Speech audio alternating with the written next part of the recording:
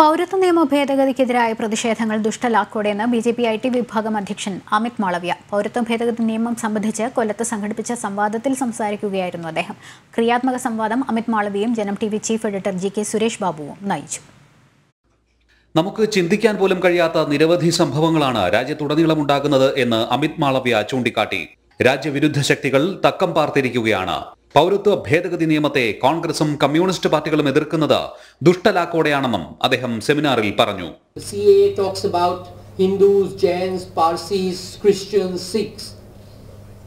But the Congress government and the previous communist regimes have all along supported and demanded that Hindu refugees be brought in because they were specifically targeted in Bengal and Pakistan for their faith, for their religion. Keralam ഭീകരവാദികളുടെ കേന്ദ്രമായി മാറുന്നു എന്ന സംവാദത്തിൽ പങ്കെടുത്ത Janam T V chief editor G K Suresh Babu പറഞ്ഞു. പൗരത്വ ഭേദഗതി നിയമത്തിനെതിരായ സമരത്തിന് പിന്നിലെ ചാലകശക്തി കോൺഗ്രസും കമ്മ്യൂണിസ്റ്റുമല്ല മുസ്ലിം തീവ്രവാദ സംഘടനകളാണെന്നും അദ്ദേഹം ചൂണ്ടിക്കാട്ടി. യഥാർത്ഥത്തിൽ ഈ സമരത്തിന്റെ പിന്നിലെ ഏറ്റവും വലിയ ചാലകശക്തി. അതിന്റെ ഏറ്റവും വലിയ ചാലകശക്തി കേരളത്തിൽ നിന്നുള്ള ഇസ്ലാമിക തീവ്രവാദികളാണ്. Popular front S D P U പിയിലും ആസാമിലും അടക്കം ഇന്ത്യയിലെ ഏതെല്ലാം സംസ്ഥാനങ്ങളിൽ ഈ പൗരത്വ നിയമ പ്രതിഷേധത്തിനെതിരെ കേസെടുത്തോ അവിടെയെല്ലാം ഒരു മലയാളിയുണ്ട്.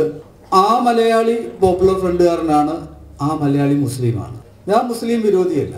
എനിക്ക് ഏറ്റവും കൂടുതൽ സുഹൃത്തുക്കൾ എന്റെ എന്റെ സഹോദരന്മാരെക്കാൾ കൂടുതലായിട്ട് എന്നെ സ്നേഹിക്കുന്ന അല്ലെ ഞാൻ സ്നേഹിക്കുന്ന ഫ്രണ്ട്സ് എനിക്ക് മുസ്ലിം സമുദായത്തിലാണ് പക്ഷേ ഭീകരവാദ പ്രവർത്തനത്തിൽ എല്ലാ മുസ്ലിങ്ങളും ഭീകരവാദികളാണെന്ന് പറയുന്നില്ല. പക്ഷേ തീവ്രവാദ പ്രവർത്തനത്തിൽ പിടിയിലായ എല്ലാവരും മുസ്ലിങ്ങളാണ്. തുടർന്ന് സദസ്സിൽ നിന്നും ഉയർന്ന ചോദ്യങ്ങൾക്ക് അമിത് മാളവ്യ മറുപടി നൽകി.